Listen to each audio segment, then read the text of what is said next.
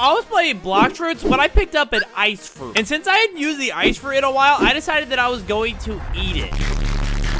Blox fruit ice activated. And boys, after I ate this fruit, I started to feel weird. I started to feel not right. And I accidentally became Ice Spice. Dude, oh my gosh, look at look at Ice Spice's face. This avatar is definitely something that you would see under your bed at night. But with this ice fruit, we have this trident, which we can use to smack this boss. We can go ahead, literally just combo this boss up. But we also have a move called Cold Storm, which uh, shoots him and does almost 3,000 damage. We've got a Glacial Surge. We've got a Frozen Dragon dragon. I'll be dragging these nuts. We've got absolute zero, which we can freeze him with and smack him up a little bit more. And there we go. We defeated a boss as Ice Spice. Full video in the description.